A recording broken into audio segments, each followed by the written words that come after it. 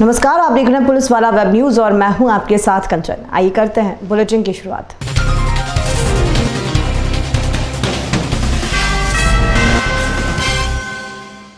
सिंगरौली ज़िले की चितरंगी तहसील अंतर्गत ग्राम बगदरा कला के जंगल में आग लग गई। जंगल विभाग बेखबर है, इसी तरह हर वर्ष गर्मी के सीज़न में आंधी और तूफ़ान आने पर प्राय जंगलों में आग लग जाती है। परंतु जंगल विभाग की लापरवाही की वजह से लाखों की संपत्ति जलकर राख हो जाती है। दोषी व्यक्ति के विरुद्ध कड़ी कार्रवाई किए जाने बाबत डीएफओ सिंगरौली का ध्यान इस और आकर्षित कराया गया है। मरला के बकौरी गाँव में बैगा समाज के नाबालिग दुल्हा दुल्हन का विवाह हो रहा था। तभी देर रात कलेक्टर जगदीश चंद्र जाटिया के निर्देश पर। महिला बाल विकास तहसीलदार और पुलिस बल की टीम मौके पर पहुंचकर बाल विवाह को रुकवाया गया। डिंडोरी ज़िले की गाड़ा सराई पुलिस ने दो युवकों के पास से 10 किलो गांजा जब्त करते हुए दोनों युवकों को गिरफ़्तार कर लिया है। आपको बता दें कि गाड़ा सराई पुलिस ने मुखबिर की सूचना पर गाड़ा सराई के पास बरगांव में बिना नंबर की मोटरसाइकिल से दो युवक गांजा तस्करी कर रहे थे। पुलिस ने घेराबंदी कर दोनों युवकों को दबोच लिया। युवकों के पास से एक थैला मिला है, जिसमें दस किलो गांजा पाया गया है, जिसका बाज़ार भाव लगभग एक लाख रुपए कीमत बताई जा रही है। साथ ही आरोपियों के पास से दो mobile, Honda sign motorcycle जब्त कर दोनों आरोपी मंगरू लाल उनतीस वर्ष, राजेश यादव बाईस वर्ष को हिरासत में लेकर पुलिस मामले की तफ्तीश कर रही है। डिंडोरी जिला अब धीरे धीरे मादक तस्करी के लिए मशहूर हो रहा है। आए दिन गांजे की खेप पुलिस पकड़ रही है। अभी हाल ही में कुछ दिनों पहले डिंडोरी ज़िले में अफीम की खेती करते हुए लोगों को पुलिस ने पकड़ा था।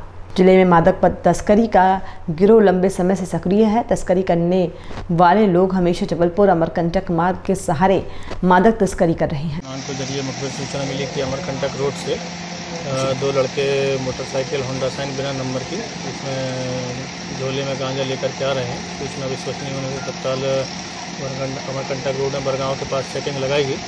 जहाँ पर वो दो व्यक्ति आए जिनको घेराबंदी करके रुका गया उनकी तलाशी ली गई जिसमें से एक झोले में दस किलो अवैध मादक पदार्थ गांजा मिला है जो एन डी पी एस धारा आठ बटे बीस के तहत दंडी पाए जाने से तत्काल मौके पर विधिवत कार्रवाई की गई। गांजे को जब्त किया गया और उनके पास से मोटरसाइकिल और मोबाइल जब्त किए गए हैं। कुछ नकदी पैसे भी जब्त किए गए। सर ये आरोपी कहाँ के ये एक मंगरू लाल यादव है जो उनतीस वर्ष का है और एक राजेश यादव है। दोनों ये गोरखपुर गोरखपुर चांदरानी थाना डिंडौरी क्षेत्र के रहने वाले हैं। और ये काफ़ी समय से इसमें लिप्त थे। ये एक मंगरू लाल यादव है, जो उनतीस वर्ष का है, और एक राजेश यादव है। दोनों ये गोरखपुर गोरखपुर चांदरानी थाना डिंडौरी क्षेत्र के रहने वाले हैं। और ये काफ़ी समय से इसमें लिप्त थे। अब जो नज़ारा आप देखने वाले हैं, ये अजब डिंडोरी का गजब नज़ारा है। डिंडोरी ज़िले में नेतागिरी किस कदर हावी है, इसका आप नमूना भानपुर गाँव के खखरी टोला में देख सकते हैं। स्वार्थ और आपसी खींचतान के चलते जनता का पैसा का कैसे बंटाधार कर दिया गया है? नेतागिरी करने वाले नेता अपनी नेतागिरी चमकाने के लिए करोड़ों रुपए की लागत से बने भवन को नेतागिरी की वेदी में पूर्णाहुति ले ली है और जिम्मेदार प्रशासन मौन होकर मूक दर्शक बना हुआ है। आपको बता दें कि भानपुर के खकरी टोला गाँव में नेतागिरी का एक अनोखा नज़ारा देखने को मिला। गाँव में वर्ष 2011-2012 में हाई स्कूल भवन बिल्डिंग बनवाई गई, लेकिन स्थानीय नेताओं की गुटबाजी और मोहल्ले की रणनीति ने तूल पकड़ लिया। आखिरकार हाई स्कूल भवन राजनीति की भीड़ चढ़ गया। स्कूल भवन में जानवर और असामाजिक तत्वों का जमावड़ा लगा रहता है। आसपास के लोग स्कूल में कंडे बनाने सहित भवन का जमकर उपयोग कर रहे हैं। पंचायत के जिम्मेदार और ब्लॉक शिक्षा अधिकारी अमरपुर सहित जिला प्रशासन मौन होकर मूक दर्शक बना हुआ है। क्या करोड़ों रुपए की बिल्डिंग का कोई दूसरा उपयोग नहीं हो सकता? इस बात की जन चर्चा जनमानस में हो रही है। आखिर हाई स्कूल भवन के साथ राजनीति का गंदा खेल क्यों खेला गया? इस बात की भी जाँच होनी चाहिए और दोषियों के ऊपर कार्रवाई होनी चाहिए, जिससे जनमानस में एक अच्छा संदेश जाए। चंबल की सांसदीय सीट पर घमासान नेता हो रहे गाँव की जनता से रूबरू श्री नरेंद्र सिंह तोमर जी ने कांग्रेस पर निशाना साधते हुए कहा कि चार महीने में इतना पैसा कमाया है तो चार साल में पूरा प्रदेश ही बेच देंगे। मुरैना श्योपुर लोकसभा क्षेत्र के बीजेपी के प्रत्याशी ग्वालियर के सांसद श्री नरेंद्र सिंह तोमर जी के साथ पूर्व विधायक सूबेदार सिंह रजोदा की ग्रामीण इलाकों में सभा, जिसमें ग्राम कन्हार धोधा सहसराम, खुरजान के लोगों की मांगों को पूरा करने का आश्वासन भी दिया। तोमर जी का खूब स्वागत किया और जनता ने अब प्रण लिया है कि इस बार भारत के प्रधानमंत्री श्री नरेंद्र मोदी जी को ही बनाना है। ग्राम कन्हार और आसपास के गाँवों में मूलभूत सुविधा बहुत कम है, फिर भी लोग इस बार मोदी जी को लाना चाहते हैं ताकि इनके गाँव और देश का विकास हो सके। मैं सूरज मलावरिया, पुलिस वाला वेब न्यूज़ में आपका स्वागत करता हूँ। मोदी जी जिस तरह से चुनाव की लहर चल रही है, आज उनके बारे में जनता से हम जानना चाहेंगे कि इस बार कौन जीत रहा है। सर, इस बार किसका ज़्यादा पल्ला पल्ला बाजी चल रहा है। नरेंद्र मोदी जी भाजपा। भाजपा? आपका वोट किसके लिए जा रहा है? भाजपा के लिए। ऐसा क्या है जो आप नरेंद्र मोदी जी को प्रधानमंत्री बोलना चाहते हैं? नरेंद्र मोदी जी ने इन पाँच वर्षों में जो किया है वो कांग्रेस साठ सालों में नहीं कर पाई जनता का तो कहना है कि सर नोटबंदी की है जीएसटी लगाई है जिससे काफ़ी नुकसान हुआ है। वो सब जीएसटी और नोटबंदी सब जनता की भलाई के लिए किया है भलाई और मोदी जी देश के एक बात वैसे प्रधानमंत्री है जो साहसपूर्ण फैसले ले सकते हैं। बाकी आज तक किसी प्राइम मिनिस्टर ने इतनी हिम्मत नहीं हुई। जो ऐसे साहसपूर्ण फैसले ले सके चाहे वो राष्ट्रीय मुद्दा हो चाहे देश के हित का मुद्दा हो चाहे कोई भी मुद्दा हो। जहाँ एक और बुज़ुर्गों का कहना है कि मोदी जी फिर से आना चाहिए। वहीं हम युवाओं से जानना चाहेंगे कि युवाओं की इस विषय में क्या राय है।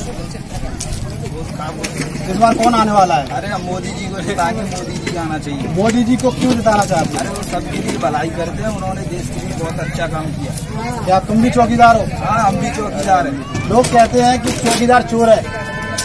बताओ भाई चौकीदार चोर है कि नहीं? चौकीदार चोर नहीं। नहीं है चौकीदार नहीं तो आपका चौकीदार ईमानदार है ईमानदार है। चोरों के बारे में बताएँगे? चोर गांधी खानदान है। सबसे बड़ा चोर तो कांग्रेस पार्टी है। और कांग्रेस पार्टी में जो आज तक गांधी खानदान है वो सबसे बड़ा चोर है। अब जनता जाग चुकी है उनको चौकीदार और चोर के बारे में पता चल गया है। अब वो दलालबाजी नहीं चलेगी जो पिछले साठ सालों से चली आ रही थी। इस बार जनता का कहना है मोदी सरकार मोदी सरकार। है डिंडोरी ज़िले के खुरपार गाँव में पानी को लेकर पुलिस वाला वेब न्यूज़ चैनल में खबर प्रसारित की गई। खबर प्रसारित होने के बाद जिम्मेदार नींद से जागे और पानी का टैंकर खुरपार गाँव में पहुँचा। आपको बता दें कि खुरपार गाँव में पानी को लेकर कोहरा मचा हुआ है। गाँव में कुआँ, तालाब सूख चुके हैं और हैंडपंप हवा उगलने लगा है। आपको बता दें कि खबर प्रसारित होने के बाद पंचायत के जिम्मेदार जनप्रतिनिधि और कर्मचारी नींद से जागे हैं और खुरपार में टैंकर से पानी सप्लाई शुरू कर दी गई है। लेकिन खुरपार गाँव की आबादी लगभग सात टोला भी में बसी हुई है, लेकिन पंचायत के द्वारा महज एक टैंकर पानी ही दिया जा रहा है, जिससे ग्रामीणों के बीच विवाद होने की स्थिति बन रही है। एक टैंकर पानी ऊँट के मुँह में जीरा साबित हो रहा है। पंचायत के जिम्मेदार आबादी के हिसाब से पानी की सप्लाई करें, जिससे ग्रामीण जनों को राहत मिल सके। महज खाना पूर्ति कर जिम्मेदार ज़िम्मेदारी से दूर न भागें। अन्यथा ऐसे में लड़ाई झगड़ा की संभावना से इनकार नहीं किया जा सकता। पानी जो है कब से आ रहा है? ये खबर चलने के बाद से आ रहा है। तो कितना पानी आ रहा है? इसमें दिन में एक टैंकर पानी भी जाते हैं जिसमें हमारे गाँव सात मोहल्ला पड़ते हैं। सात मोहल्ला में एक ही टैंकर कितने जगह जाएगा और कितना लीटर पानी मिलेगा, आप ये सोच सकते हैं। एक ही टैंकर की वजह से हमारे यहाँ विवाद की स्थिति बन सकता है। और बुलेटिन में फ़िलहाल इतना ही, और भी खबरों के लिए आप देखते रहिए पुलिस वाला वेब न्यूज़।